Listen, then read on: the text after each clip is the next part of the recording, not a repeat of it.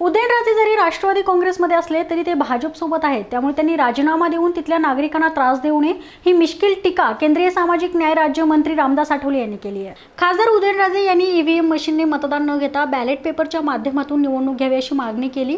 पण यासाठी त्यांनी लोकसभेत आवाज उठवणं गरजेचं असून तशी मागणी त्यांनी निवडणूक आयोगाकडे करावी. उगाच नागरिकांना त्रास देऊ नये अशी टीका रामदास आठवले यांनी केली आहे. तर बॅलेट पेपरनी जर उदयनराजेंचं म्हणणं असेल तर आम्ही तयार आहोत.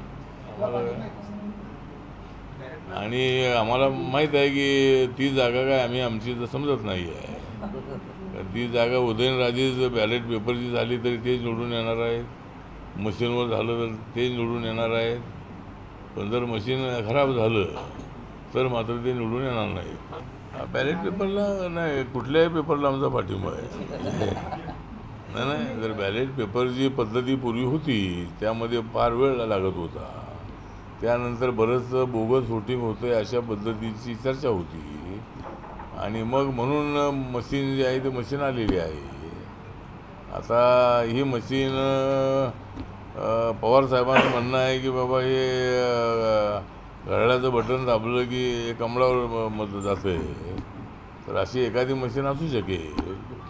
दुसरी मशीन अशी असू शकेल की कमळाचं बटन दाबल्यानंतरही ते अ, ग- गेलेलं आहे. आणि म्हणूनच सुप्रियाताई तिथे निवडून आलेली आहे त्यामुळं त्यामुळं अशाही काही मशीन असू शकतात तर मला असं वाटतं की हे जे विरोधकांची केविलवाणी परिस्थिती झालेली आहे आणि लोकांना दोष लोकांना दोष देण्याऐवजी म्हणजे लोकांना दोष म्हणजे मोदींना पाठिंबा लोकांनी दिला. तर आता ई व्ही एम मशीन बदला असं त्यांचं म्हणणं आहे तर ते इलेक्शन कमिशनने निर्णय घ्या- घ्यावा. तर कुठल्याही पद्धतीला आमची तयारी आहे. जर बॅलेट पेपरचा निर्णय इलेक्शन कमिशनने घेत असेल तर मला वाटतं की त्या पद्धतीला आमचा पाठिंबा आहे. पण उदयनराजेंना माझं आव्हान आहे की पुन्हा विनाकारण लोकांना त्रास देऊ नका. आणि राजीनामा तुम्ही ते देऊ नका. तुमची आवश्यकता या महाराष्ट्राला आहे. जरी तुम्ही शरद पवारांबरोबर जरी तुम्ही वरून असलात तरी अजून तुम्ही आमच्यासोबत आहात याची मला कल्पना आहे. तर त्यामुळं आपण राजीनामा देऊ नका. आपल्याला आमच्या ज्या शुभेच्छा आहेत.